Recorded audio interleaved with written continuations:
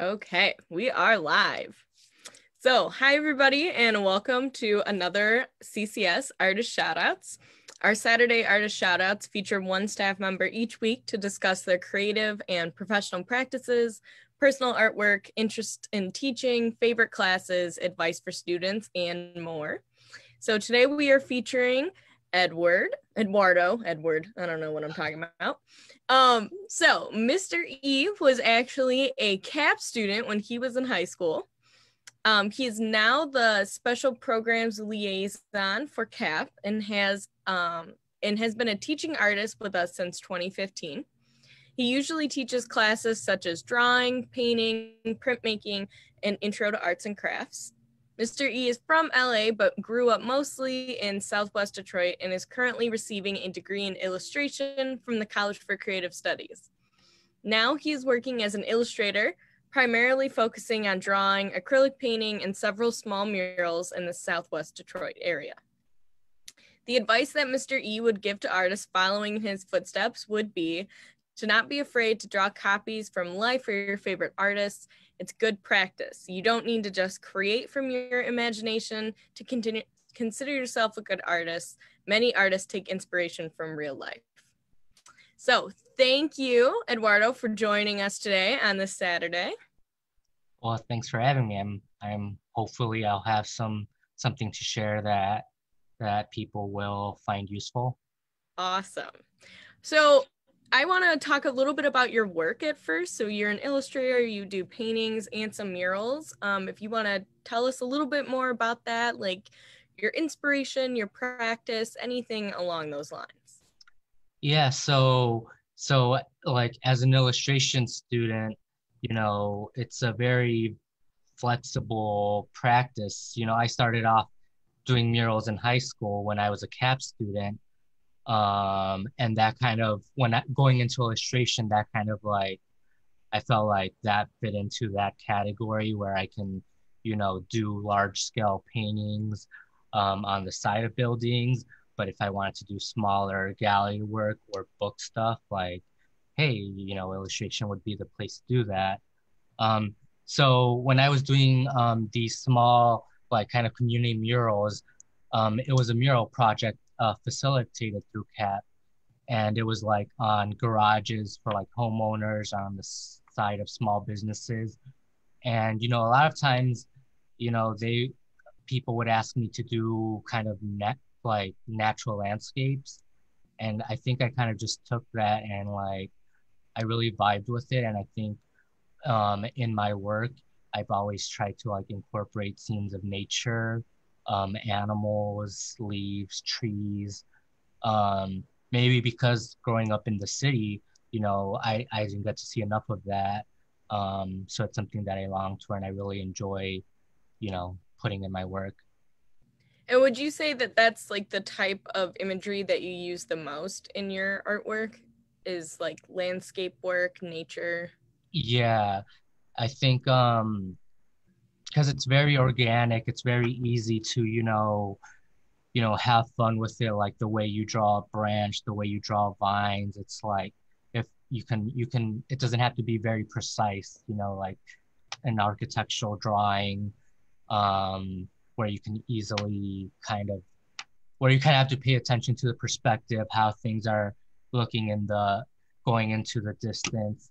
Um i do love drawing figures but you know you also have to know a lot about anatomy. Um, so it's i think it's easy to kind of like for me especially to kind of get frustrated and kind of like overthink things.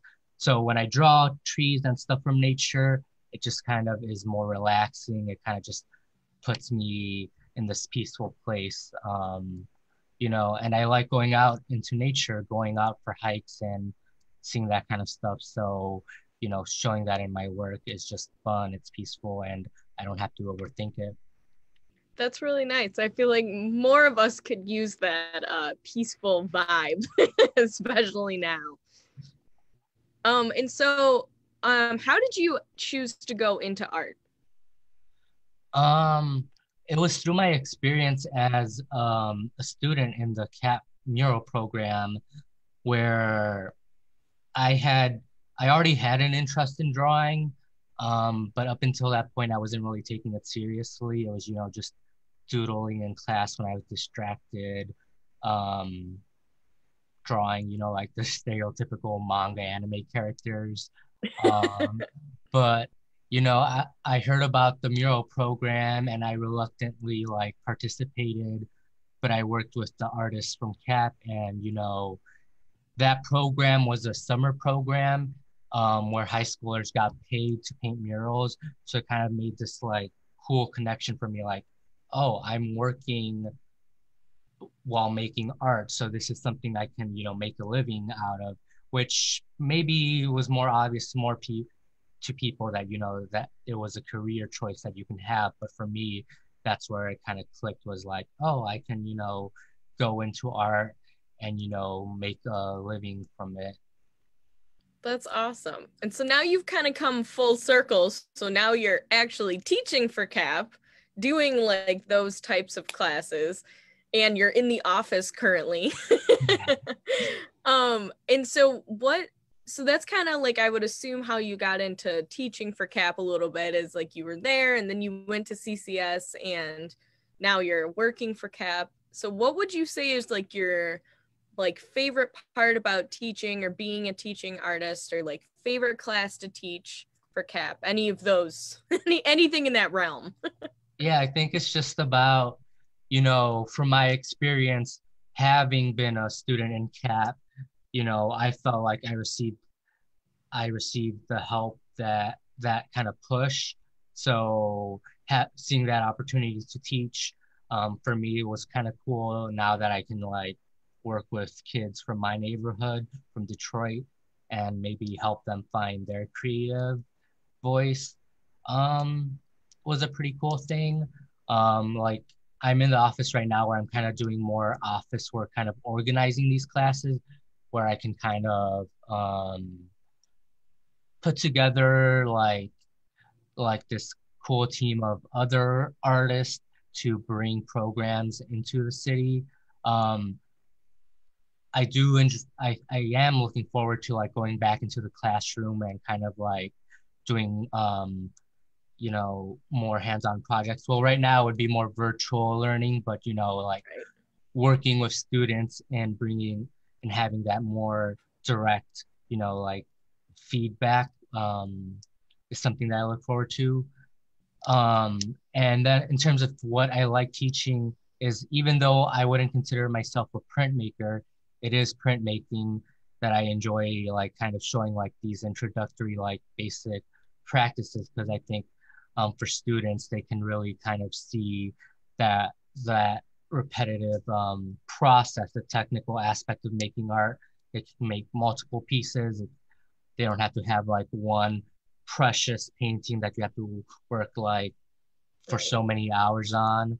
But then there's also that aspect of like, you know, it's it's easy to make mistakes when you're making multiple prints. Some they don't all turn out the same, but there's something cool that comes out of making those little mistakes and you know even if they do come up with that they turn they still turn out really cool and i think um I, i'd like to see like students really enjoying that process I totally agree with you. Printmaking is also one of my favorite things to do for that reason.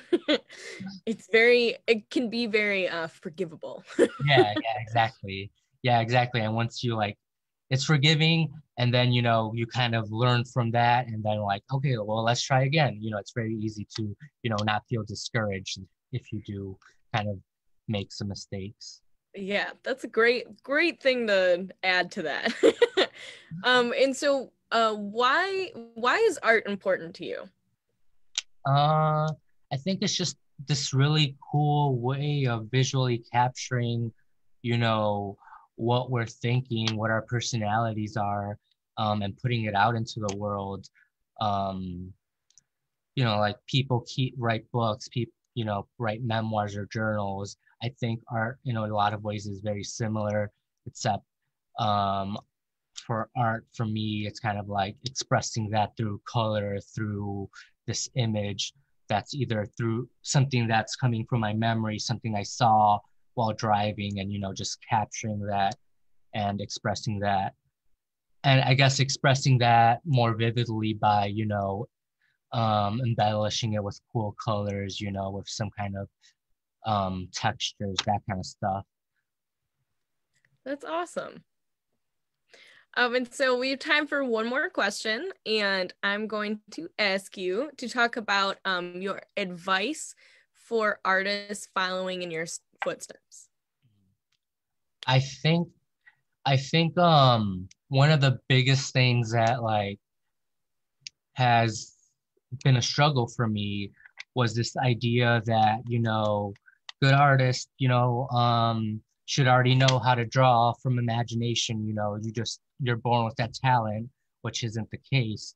Um, and especially in high school um, when i was drawing um, i felt like if i drew a character it had to be perfect and i didn't have to like seek reference. But um, i would recommend you know if there's something that cool that you see try to draw from life and you get that hand-eye coordination of like looking at the piece drawing it and that's kind of how you get that like uh muscle memory in your hands and in your mind of like okay i've drawn on i've drawn enough flowers a hundred times. Now I, I can kind of have a visualizer in my head and kind of draw it from imagination. So that's kind of my advice is you know just kind of copy draw and draw and you know that creates a visual library in your head.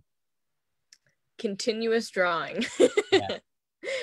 Well, thank you. I think that's fantastic advice.